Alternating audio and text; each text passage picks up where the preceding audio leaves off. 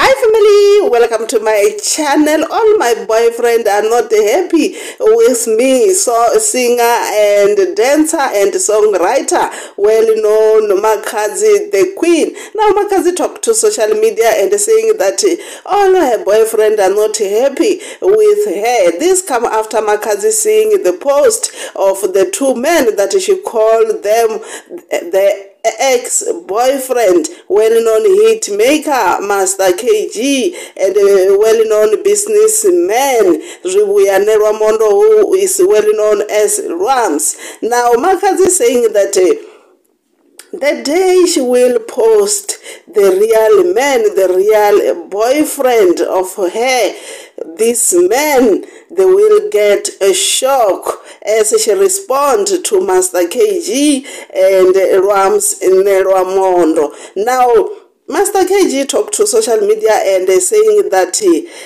mukwasha wa shangolothe uri good night that means that he, he said the in-law of everyone saying good night and uh, that Makhadzi and uh, her friends felt that uh, that it was insult as Master KG posted that in Venda language. Also Rams and Romondo talked to social media and saying that he is, is not going back.